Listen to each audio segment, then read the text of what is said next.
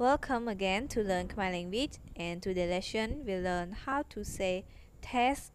vision, touch, hearing and smell in Khmer language. So how to say it in Khmer language? So let's continue with me to the next slide. Taste in Khmer language we can say រសជាតិ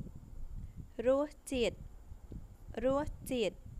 and to taste we can say ភ្លក់ plur plur and if you want to say to test the test so you can say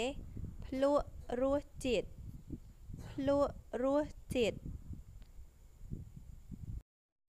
vision in Khmer language we can say ការមើលការមើលការមើល and to watch we can say មើលមើល merl and to see we can say kern kern kern touch in Khmer language we can say ka pa ka pa ka pa and to touch we can say pa. Pa. Pa or pa pa poal pa poa. Hearing in Khmer language we can say ការស្ដាប់ការស្ដាប់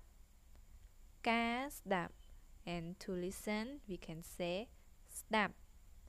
ស្ដាប់ស្ដាប់ Smell in Khmer language we can say ក្លិនក្លិនក្លិន and to smell we can say ហិត Hot hot and if you want to say to smell the smell